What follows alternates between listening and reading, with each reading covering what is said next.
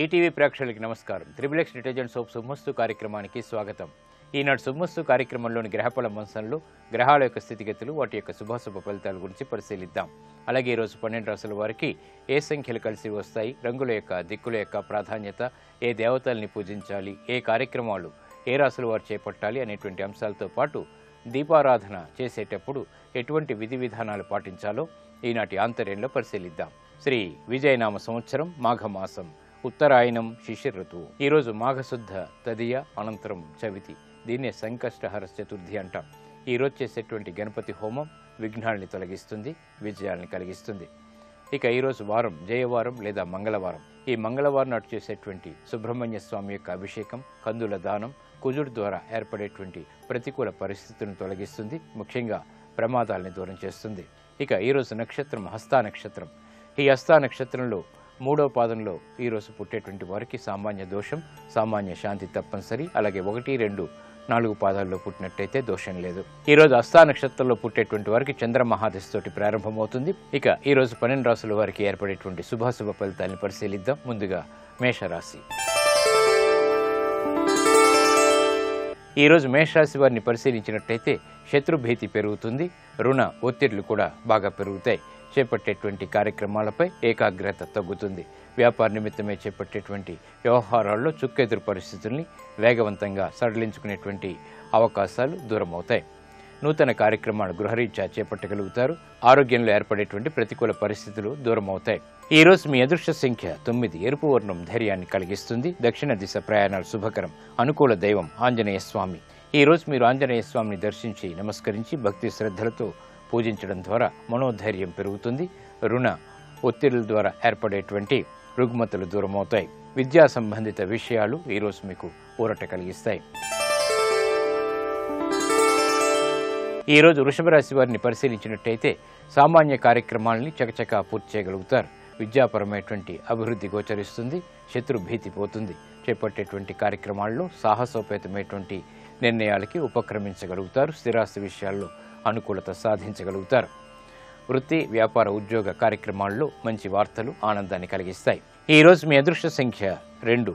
ఎరుపు వర్ణం ధైర్యాన్ని కలిగిస్తుంది. తూర్పు దిక్కు ప్రయాణాలు శుభకరం. అనుకూల దైవం సుబ్రహ్మణ్య స్వామి. ఈ రోజు మీరు సుబ్రహ్మణ్య స్వామిని దర్శించి నమస్కరించి భక్తి శ్రద్ధలతో పూజించడం ద్వారా ఆర్థిక పరమైనటువంటి వ్యవహారాల్లో వేగవంతమైనటువంటి అభివృద్ధి చేకూరుతుంది ఆనందాన్ని కలిగిస్తుంది.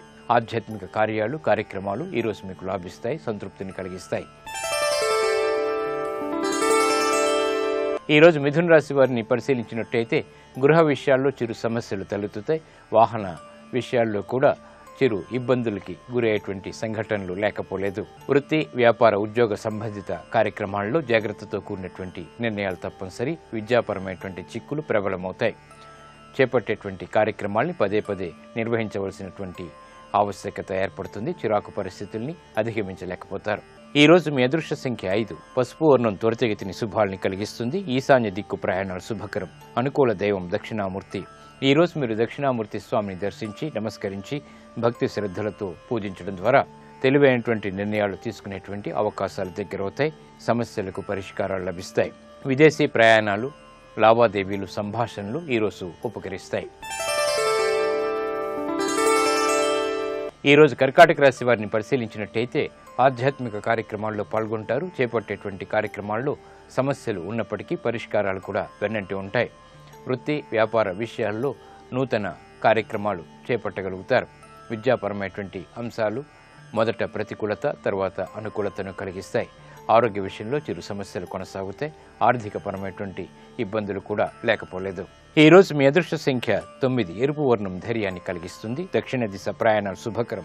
అనుకూల దైవం ఈశ్వరుడు. ఈరోజు మీరు శివాలయాన్ని దర్శించటం ఈశ్వరుడికి అభిషేకాదులు నిర్వహించడం వంటి కార్యక్రమాలు మానసిక ధైర్యాన్ని పెంచుతుంది గ్రహ ప్రతికూలతని దూరం చేస్తుంది. ఆధ్యాత్మిక కార్యాలు కార్యక్రమాలు ఈరోజు మీకు సంతృప్తిని కలిగిస్తాయి. ఈరోజు సింహరాశి వారిని పరిశీలించినట్టయితే ఆదాయం పెరుగుతుంది వ్యయం తగ్గుతుంది. చేపట్టేటువంటి కార్యక్రమాల్లో సాహసోపేతమైనటువంటి నిర్ణయాలు వెన్నంటి ఉంటాయి. వ్యాపార నిర్ణయాల్ని వెనువెంటనే తీసుకోగలుగుతారు. స్థిరాస్తి విషయాల్లో అనిశ్చితి తొలగిపోతుంది. కార్యక్రమాలలో మంచి పేరు ప్రఖ్యాతులు సంపాదించుకునేటువంటి అవకాశాలు దగ్గరవుతాయి. ప్రాధాన్యతను సంతరించుకునేటువంటి కార్యక్రమ నిర్వహణ నైపుణ్యంతో కూడినటువంటి నిర్వహణ కొనసాగుతాయి. గృహ విషయాలు అనుకూలం ప్రయాణాలు సానుకూలం. ఈ రోజు మీ అదృష్ట సంఖ్య మూడు. పసుపు వర్ణం త్వరితగతిని శుభాలను కలిగిస్తుంది. ఈశాన్య దిక్కు ప్రయాణాలు శుభకరం. అనుకూల దైవం దక్షిణామూర్తి. ఈ రోజు మీరు దక్షిణామూర్తి స్వామిని దర్శించి నమస్కరించి పూజించడం ద్వారా ఆలోచన సంపత్తి పెరుగుతుంది. తద్వారా విజయాలు చేకూరుతాయి. పెట్టుబడులు ఈ రోజు మీకు రాణిస్తాయి. ఈరోజు కన్యారాశి వారిని పరిశీలించినట్టయితే ఉద్యోగ సంబంధిత చిక్కులు ప్రబలమవుతాయి. చేపట్టేటువంటి కార్యక్రమాల్లో శారీరక శ్రమ అధికంగా ఉంటుంది. నూతన బాధ్యతలు పెరుగుతాయి. ఎటువంటి నిర్ణయాలు తీసుకోలేనటువంటి పరిస్థితులు విస్మయాన్ని కలిగిస్తాయి. గృహ విషయాలు సామాన్యం ప్రయాణాల విషయంలో జాగ్రత్తలు పాటించాలి. ఈరోజు మీ అదృష్ట సంఖ్య మూడు. పసుపు వర్ణం త్వరితగతిని శుభాల్ని కలిగిస్తుంది. తూర్పు దిక్కు ప్రయాణాలు శుభకరం. అనుకూల దైవం మహాగణపతి. ఈ రోజు మీరు మహాగణపతిని దర్శించి నమస్కరించి భక్తి శ్రద్ధలతో పూజించడం ద్వారా విఘ్నాల్ని దూరం చేసుకుని విజయాల్ని ఆహ్వానించగలుగుతారు. గ్రహ ప్రతికూలత తగ్గుతుంది. ఉద్యోగ పునఃప్రయత్నాలు ఈ రోజు మీకు లాభిస్తాయి. ఆనందాన్ని కలిగిస్తాయి.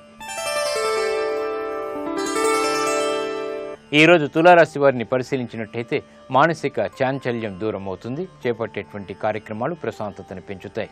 వృత్తి వ్యాపార ఉద్యోగ కార్యక్రమాల్లో ప్రశాంతతను పెంపొందింప చేసుకోగలుగుతారు ఉత్సాహపూరిత కార్యక్రమ నిర్వహణ తద్వారా ఆనందకర సంఘటనలు ఏర్పడతాయి. గృహ విషయాల్లో అనుకూలత పెరుగుతుంది. కార్యక్రమ నిర్వహణలో ఏకాగ్రత సంపాదించుకోగలుగుతారు. విద్యాపరమైనటువంటి చిక్కులు వీడిపోతాయి. ఆనందకర వాతావరణం అన్ని రంగాల వారికి కొనసాగుతుంది. ఈ రోజు మీ అదృష్ట సంఖ్య తొమ్మిది. ఎరుపు వర్ణం ధైర్యాన్ని కలిగిస్తుంది. తూర్పు దిక్కు ప్రయాణాలు శుభకరం. అనుకూల దైవం ఈశ్వరుడు. ఈ రోజు మీరు శివాలయాన్ని దర్శించి ఈశ్వరుడికి అభిషేకాదులు నిర్వహించడం ద్వారా గ్రహ ప్రతికూలత ముఖ్యంగా ఏలినాటి ద్వారా ఏర్పడేటువంటి చిక్కులు దూరమవుతాయి ప్రశాంతత పెరుగుతుంది. వ్యాపార నూతన ఒప్పందాలు లావాదేవీలు సంభాషణలు ఈ రోజు మీకు లాభిస్తాయి.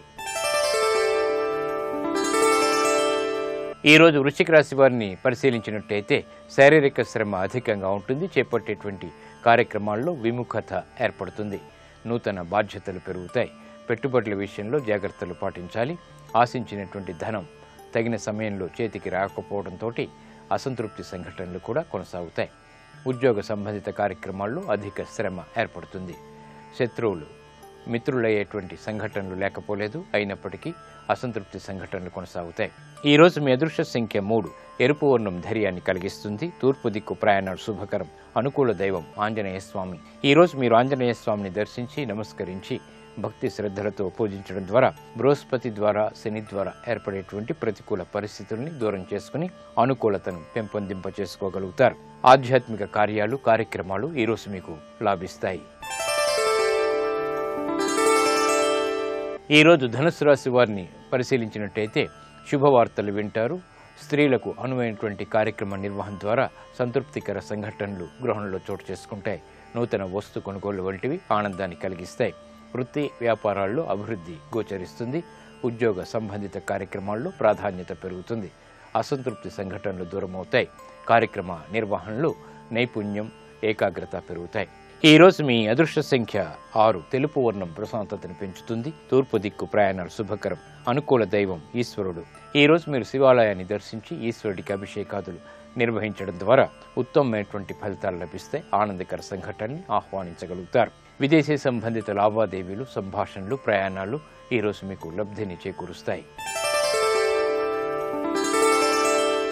ఈరోజు మకర రాశి వారిని పరిశీలించినట్టయితే శుభ ప్రయత్నాలు ఫలిస్తాయి. చేపట్టేటువంటి కార్యక్రమాల్లో అనిశ్చితి తొలగిపోతుంది. దూర ప్రయాణాల ద్వారా ఆనందకర సంఘటనలు చోటు చేసుకుంటాయి. విలాసవంతమైనటువంటి కార్యక్రమ నిర్వహణ కొనసాగించగలుగుతారు. వృత్తిలో అభివృద్ధి ఏర్పడుతుంది. విభేదాలు వ్యాపారరీత్యా తొలగిపోతాయి. ఆనందకర వాతావరణం గృహంలో కొనసాగుతుంది. ఈ రోజు మీ అదృష్ట సంఖ్య ఐదు. ఆకుపచ్చ వర్ణం రక్షణకి తోడ్పడుతుంది. ఉత్తర దిక్కు ప్రయాణాలు శుభకరం. అనుకూల దైవం మహాకాళి. ఈ రోజు మీరు మహాకాళి అమ్మవారిని దర్శించి నమస్కరించి పూజించడం ద్వారా ఆశించినటువంటి ప్రయోజనాలు దగ్గరవుతాయి. వ్యాపార అభివృద్ధి ఏర్పడుతుంది. బృహస్పతి ద్వారా ఏర్పడేటువంటి ప్రతికూల పరిస్థితులు దూరమవుతాయి. ఆధ్యాత్మిక కార్యాలు కార్యక్రమాలు ఈ రోజు మీకు లాభిస్తాయి. ఈరోజు కుంభరాశి వారిని పరిశీలించినట్టయితే మానసిక వైషమ్యాలు ప్రబలమవుతాయి. అయినప్పటికీ ప్రశాంతతకి చేసేటువంటి ప్రయత్నాలు కూడా కలిసి వస్తాయి. నూతన బాధ్యతలు పెరుగుతాయి. ఉద్యోగరీత్యా జాగ్రత్తతో కూడినటువంటి నిర్ణయాలు తప్పనిసరి. శారీరక శ్రమ అధికంగా ఉంటుంది. ప్రయాణాల విషయంలో జాగ్రత్తలు పాటించాలి. ఆరోగ్య విషయంలో కూడా చిరు సమస్యలు తలెత్తుతాయి. అభివృద్ధికే చేపట్టేటువంటి కార్యక్రమాలు విదేశీ పరంగా కలిసి వస్తాయి. ఆనందం అన్ని రంగాల వారికి లభిస్తుంది. ఈ రోజు మీ అదృష్ట సంఖ్య ఐదు ఆకుపచ్చ వర్ణం రక్షణకి తోడ్పడుతుంది. ఉత్తర దిక్కు ప్రయాణాలు శుభకరం. అనుకూల దైవం లక్ష్మీ నరసింహస్వామి.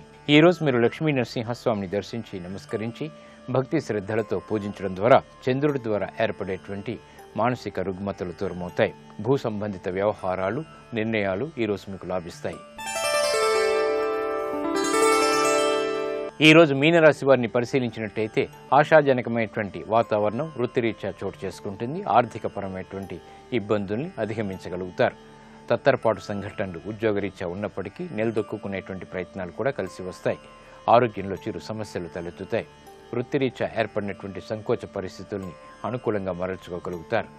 జాగ్రత్తతో కూడినటువంటి నిర్ణయాల ద్వారా విజయాలు సంపాదించుకోగలుగుతారు. ప్రయాణాల విషయంలో జాగ్రత్తలు తప్పనిసరి. ఈ రోజు మీ అదృష్ట సంఖ్య తొమ్మిది ఎరుపు వర్ణం ధైర్యాన్ని కలిగిస్తుంది. దక్షిణ దిశ ప్రయాణాలు శుభకరం. అనుకూల దైవం ఆంజనేయ స్వామి. ఈ రోజు మీరు ఆంజనేయ స్వామిని దర్శించి నమస్కరించి తమలపాకులతో పూజించడం ద్వారా అష్టమ కుజశని రాహుల ద్వారా ఏర్పడేటువంటి విపత్కర పరిస్థితులు దూరమవుతాయి ఆనందం లభిస్తుంది. ఆర్థిక నూతన ప్రయత్నాలు ఈ రోజు మీకు ఊరట కలిగిస్తాయి.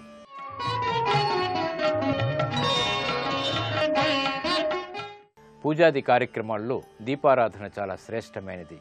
దీపారాధన ఉత్తమ జ్ఞానాన్ని కలిగిస్తుంది. దీపారాధన ద్వారా ఇంకా ఎన్ని ప్రయోజనాలు ఉన్నాయో పరిశీలిద్దాం.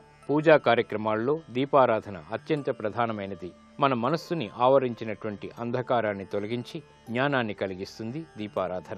దీపారాధనకు వెండి ప్రమదలు శ్రేష్టమైనవి. కంచుతో చేసినవి మధ్యమం. రాగితో చేసినవి మోక్షకరం. ఇత్తడితో చేసినవి అధమం. దీపముఖం తూర్పు దిక్కుగా ఉండటం వల్ల ఆయుర్వృద్ధి కలుగుతుంది. ఉత్తర దిక్కుగా ఉండటం వల్ల ధనధాన్య సమృద్ధి ఏర్పడుతుంది. నాలుగు దిక్కులకు ఉంచిన సర్వశుభాలు చేకూరుతాయి. ప్రత్యేకంగా పశ్చిమ దక్షిణ ముఖాలుగా దీపాలని ఉంచరాదు. దీపారాధనకు కుందెలు గాని ప్రమిదలు గాని ఉపయోగించవచ్చు. ఆవు నేతితో దీపారాధన చేయడం శ్రేష్టమైనది. దీనివలన అష్టైశ్వర్యాలు కలిగి సుఖ సంతోషాలతో సంసారం విలసిల్లుతుంది.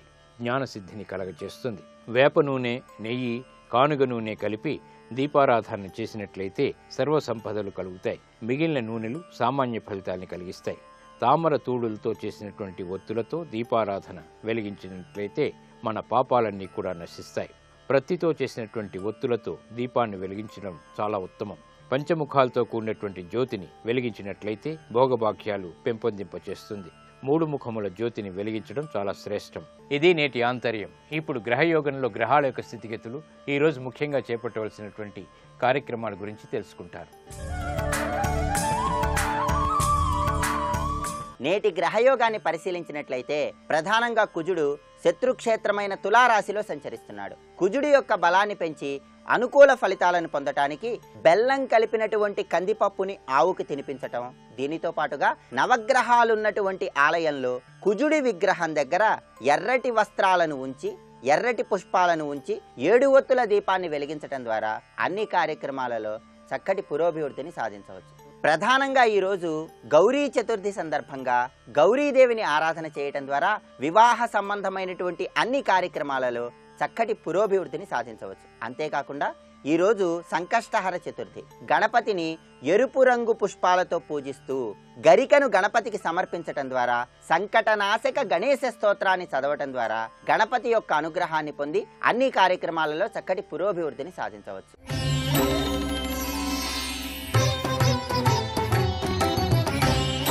మీ గృహంలో తల్లిదండ్రుల అనారోగ్య భావన మిమ్మల్ని వేదనకి గురి చేస్తున్నటువంటి తరుణంలో దైవబలం రీత్యా ఏం చేయాలి? సంతోషీ మాతను ఆరాధన చేయటం ద్వారా ఏదైనా శుక్రవారం నాడు ప్రారంభించి వరుసగా మూడు శుక్రవారాలు సంతోషి మాతకు పులుపు లేని పదార్థాలను నివేదన చేయటం ద్వారా తల్లిదండ్రులు అనారోగ్య భావనల నుండి బయటపడి చక్కటి ఆరోగ్యాన్ని పొందటానికి ఆస్కారం ఎంతగానో ఉంది.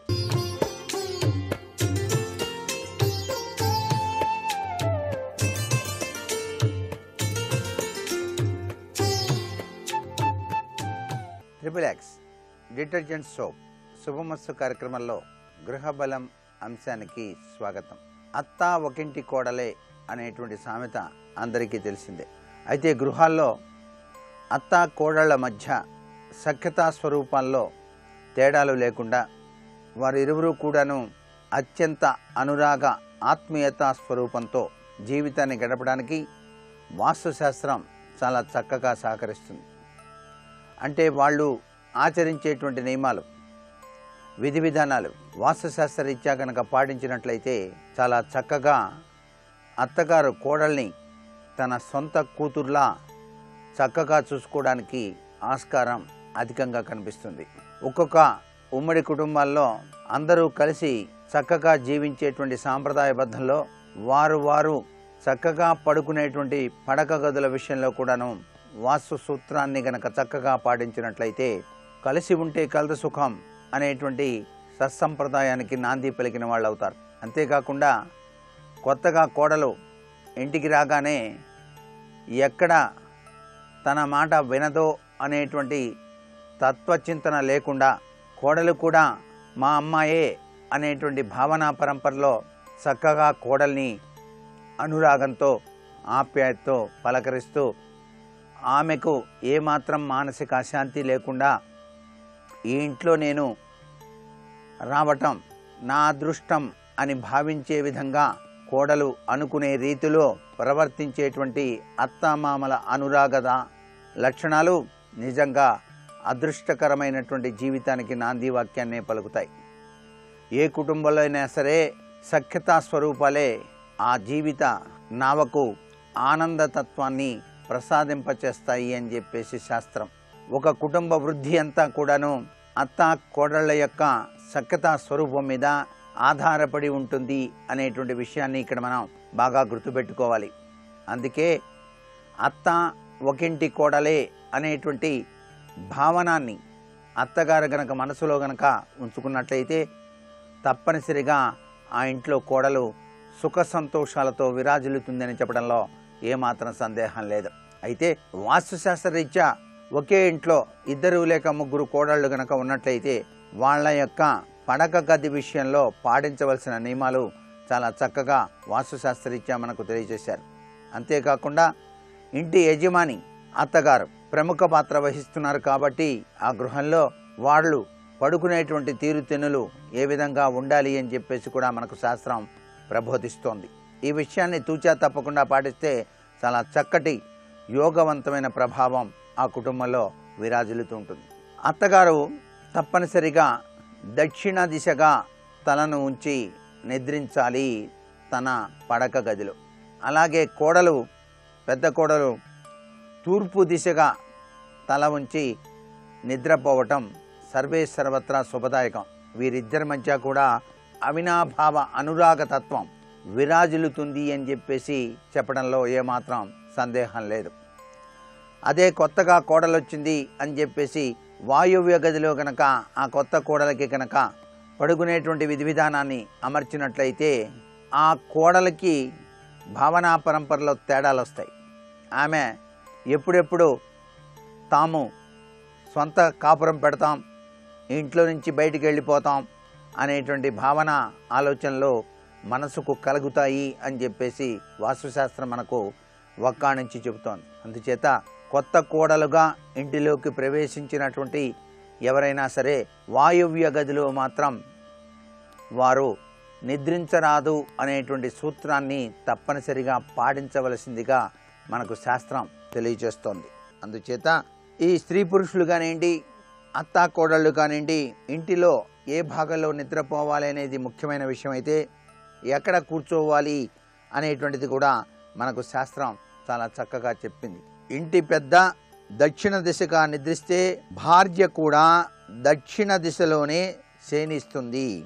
మానవ శరీరం కూడా ఒక సూదంటు రాయిలా పనిచేస్తుంది కాబట్టి శరీరానికి ఉత్తర ధ్రువం శిరస్సు దక్షిణ ధ్రువం కాళ్ళు.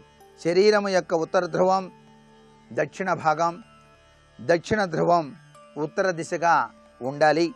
ఆలోచన విధానాన్ని ఇది నియంత్రిస్తుంది కాబట్టి మస్తిష్కం శరీరం విద్యుత్ ప్రభావంతో నియంత్రించబడుతుంది కాబట్టి దక్షిణ దిశ తలబెట్టుకొని నిద్రించడం వలన భూమి యొక్క విద్యుత్ తత్వం ప్రభావంతో నియంత్రించబడుతుంది. దీనివల్ల స్వభావంలో గంభీరం వస్తుంది.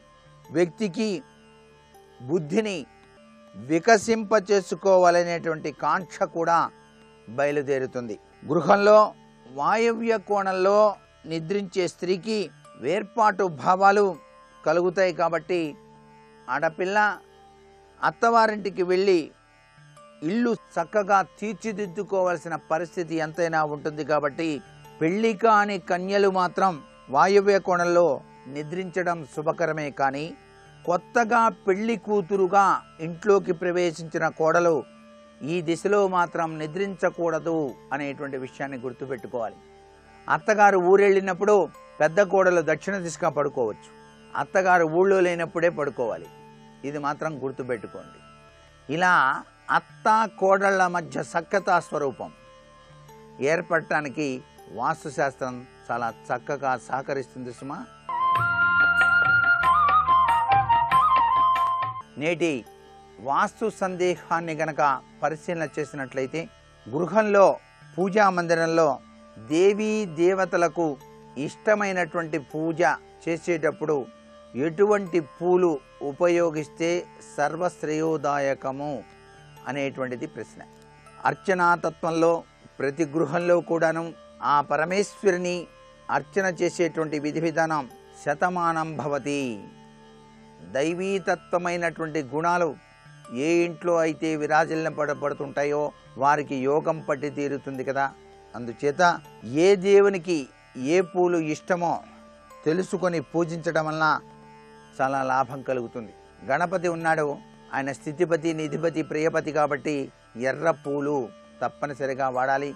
గరిక కూడా ఉపయోగించవచ్చు. శివునికి మాత్రం తప్పనిసరిగా మారేడు దళాలతో పూజ చేయాలి.